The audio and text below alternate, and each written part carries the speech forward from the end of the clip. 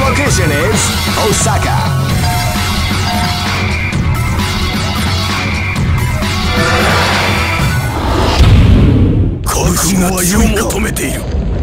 Go for broke. Fight. Fight.